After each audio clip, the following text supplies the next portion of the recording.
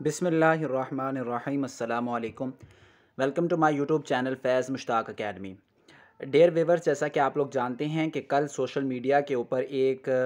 Request भेजी गई थी पंजाब पब्लिक सर्विस कमीशन को एक कैंडिडेट की तरफ़ से, जिसमें उसने ये हवाला दिया था कि लाहौर हाई कोर्ट में जो अप्रैल के अंदर केस गया था लीक पेपर्स के ख़िलाफ़, उसी फैसले को बरकरार रखते हुए पंजाब पब्लिक सर्विस कमीशन के सेक्रेटरी और चेयरमैन को मुखातिब किया गया था और ये कहा गया था कि आप जो है, वो लेक्चरार हिस्ट्री का पेपर कैंसिल कर दें। इस हवाले से कल मैंने एक वीडियो भी बनाई थी और आपसे वो अपडेट मैंने शेयर भी की थी, जिसमें बाकायदा मैंने आपको वो जो है वो रेसिपेट नंबर भी दिखाया था और उसके साथ साथ वो जो उन्होंने एप्लीकेशन लिखी थी, वो भी मैंने साथ साथ दिखाई थी। उसके बाद ये समझा जा रहा था कि शायद पंजाब पब्लिक सर्विस कमीशन जो है वो लेक्चर, हिस्ट्री का जो लीक पेपर है उसको कैंसिल कर देगी। इस हवाले से मैंने अपनी वीडियो के अंदर पहले ही आप लोगों को ये बात बताई थी कि पीपीएससी की वेबसाइट के ऊपर अभी तक इस किस्म की कोई अपडेट नहीं आई और साथ ही मैंने ये कहा था कि अगर ये मामला अदालत के अंदर ना जाए तो ही बेहतर है, क्योंकि अगर ये मामला अदालत के अंदर जाएगा तो बज़ाहिर ये एस्पायरेंट्स का टाइम ही वेस्ट करने वाली बात है, क्योंकि अदालतों के अंदर इतनी आसानी से मामला हल नहीं होते और जो लोग पहले ही जॉबलेस हैं, उनके लिए बहुत ज़्यादा मसाइल का सामना उन्हें करना पड़ेगा। पहले ही एक साल हो चुका है और अभी तक जो है वो ये मामला किसी सूरत भी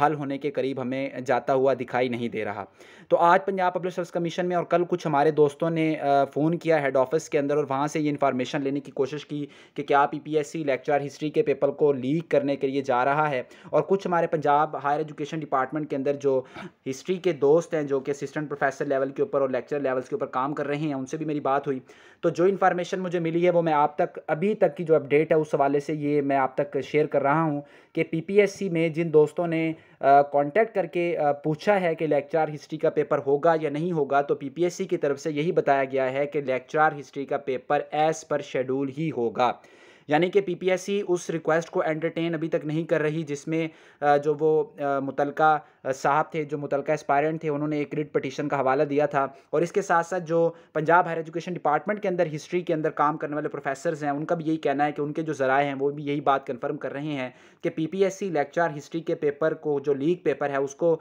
छब्बीस तारीख को ही दोबारा कंडक्ट करेगी। तो इस वक्त आप अपनी स्क्रीन के ऊपर, अभी इस वक्त का जो मैं आपने अभी वेबसाइट ओपन की हुई और वेबसाइट के ऊपर जब मैंने प्लानर में जाके लेक्चर हिस्ट्री को एक दफ़ा फिर से लिखा है तो आप देख सकते हैं कि वहाँ पर अभी भी पेपर की तारीख 20 छः 2021 ही आ रही है, जो कि इस बात को साबित करती है कि पंजाब पब्लिक कमीशन ने अभी तक इस हवाले से कोई अपडेट नहीं की और ना ही अपनी वेबसाइट के ऊपर उन्होंने किसी किस्म का कोई नोटिस जारी किया था। तो ये एक बहुत अच्छी खबर है, क्योंकि अगर ये लीक पेपर दोबारा लिए जाएँगे, तभी ये मामला जल्द अज जल्द हल हो पाएगा और उसके बाद जो दो हज़ार इक्कीस की दूसरी फ़ेज़ है लेक्चर की भर्तियों की, वो आएगी। तो आप तमाम कैंडिडेट से मेरी यही गुजारिश है कि आप लोग अदालत के अंदर जो लोग जा रहे हैं उनका हक भी है कि उन्होंने पेपर पास किया है, उनके साथ एक किस्म की हो तो ज़्यादा रही है। लेकिन मेरी ज़ाती राय यही है कि अदालत के अंदर मामला किसी सूरत भी हल नहीं हो पाएगा। पंजाब रिसर्च कमीशन अगर दोबारा पेपर्स को कंडक्ट करवाना चाहती है तो हमें चाहिए कि जितने भी एस्पायरेंट्स हैं, उनको दोबारा तैयारी करनी चाहिए और दोबारा से तैयारी करके वो दोबारा से पेपर दें। अल्लाह ताला की ज़ात बेहतरी लेके आएगी, क्योंकि जो लोग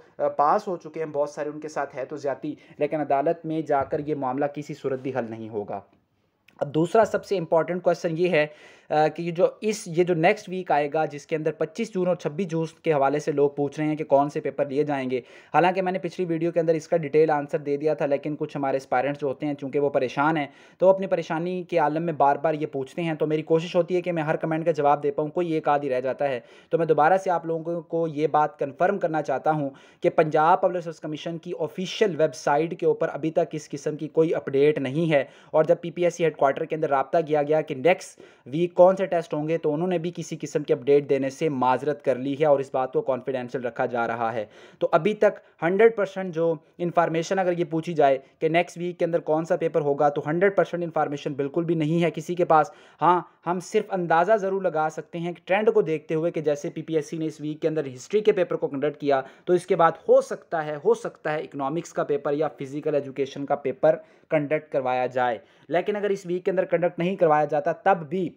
जुलाई के अंदर पहले दो हफ्तों में इन अज़ीज़ बड़ी ईद से पहले पहले आपके जो जितने भी लीग लेक्चर्स के पेपर हैं, जिसके अंदर बायोलॉजी है, केमिस्ट्री है, फ़िज़िक्स है, फ़िज़िकल एजुकेशन, इकनॉमिक्स है, ये तमाम कंडक्ट करवा लिए जाएँगे। लेक्चर उर्दू और इस्लामियात का पेपर भी जुलाई के अंदर ही इन कंडक्ट करवाया जाएगा। नैब तहसीलदार और तहसीलदार का एग्ज़ाम भी जुलाई के अंदर ही कंडक्ट होगा, जबकि जो मेरे दोस्त